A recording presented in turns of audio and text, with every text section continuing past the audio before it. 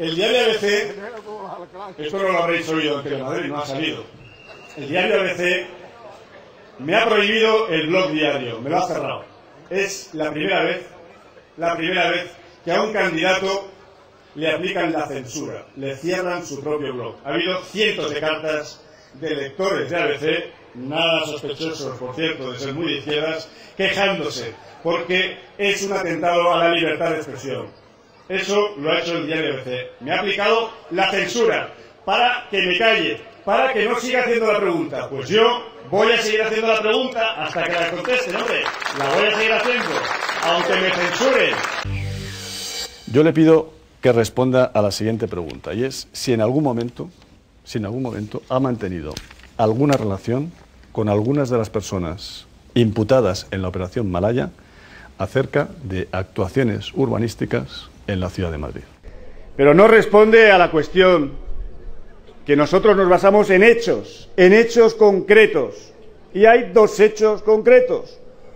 Uno, un palacio protegido del siglo XIX, de estilo neogótico, el Palacio de Villagonzalo, que en contra de la opinión de los técnicos del ayuntamiento, en contra de la opinión del Colegio de Arquitectos de Madrid, convierten en un hotel de lujo. Y no ha respondido. Y se lo vuelvo a preguntar.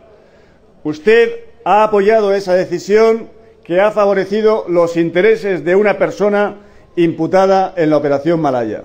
Y no ha respondido. Y lo mismo con el frontón, el frontón High, un frontón de los pocos que quedan en Europa, que tenía un uso para espacio deportivo y que también en contra de la opinión de los técnicos, se convierte de la noche a la mañana en un hotel de lujo. Que responda. Ayer, la propia concejala de urbanismo de Gallardón reconoció que sí que había estado en ese frontón precisamente con la persona imputada en la operación Malaya. Lo reconoció la propia concejala de urbanismo de Gallardón. Me imagino que no iría con ella para un tema personal, la concejala de urbanismo y esta persona imputada. Que responda Gallardón. No es un tema personal, es su gestión como alcalde. ¿Favoreció esos intereses urbanísticos de esa persona? ¿Sí o no? Que responda, porque los ciudadanos tienen derecho a saber la respuesta. Que responda. Insiste, Gallardón debe dar explicaciones. Para reforzar sus afirmaciones sobre el trato de favor que el alcalde de Madrid habría dado a la mujer de Roca en la capital, ha presentado varios documentos. Se refieren a dos emblemáticos edificios de Madrid. El Palacio de Villagonzalo fue construido en 1862 y tiene máxima protección municipal. Fue adquirido por Juan Antonio Roca y Montserrat Corulla en 2002, con la intención de convertirlo en hotel de lujo. Según los documentos aportados por Sebastián, se les permitió iniciar las obras dos años después, a pesar de superar la edificabilidad en más de 800 metros cuadrados y con informes contrarios como este. Desde el ayuntamiento se responde que también había otros informes a favor. Llegó la operación Malaya paralizando las obras y cubriendo con andamios los argumentos de unos y de otros. High fue construido por un arquitecto vasco amante de la pelota en 1893. Montserrat Corulla, en nombre de una empresa vasca, Aguirene, pide convertirlo en hotel en 2004. Hasta entonces, el equipo de gobierno de Gallardón siempre defendió que cualquier obra debía garantizar su uso deportivo.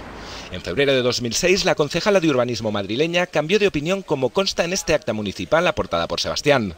En las conversaciones de Corulla interceptadas por la policía, la mujer de Roca en Madrid se jactaba de haber conseguido ese cambio de uso deportivo. Un mes después, Corulla fue a prisión y el proyecto quedó en agua de borrajas. Los socialistas también han arropado a su candidato. Le han dicho a Gallardón que ya está bien de hacerse la víctima. Las víctimas son los madrileños, no es Alberto Ruiz Gallardón. Ya está bien, se le hizo una pregunta, que era una pregunta política, no era una pregunta personal. Y él no la respondió. Punto. El gobierno también ha roto su silencio. No tengo la más mínima duda de la honestidad, el buen hacer y el respeto hacia los demás candidatos de Miguel Sebastián. Ninguna. En democracia, los gobernantes tienen la obligación de responder siempre. Miguel Sebastián, dicen en Moncloa, no acusó, preguntó. Nuestro cara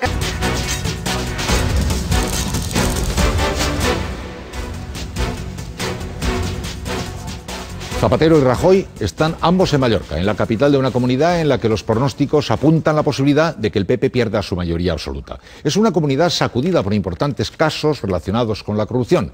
Mítines, pues, simultáneos de los dos líderes a menos de un kilómetro de distancia. José Luis Rodríguez Zapatero está hablando en el Polideportivo Son Moix, desde donde nos informa Inma Coronel.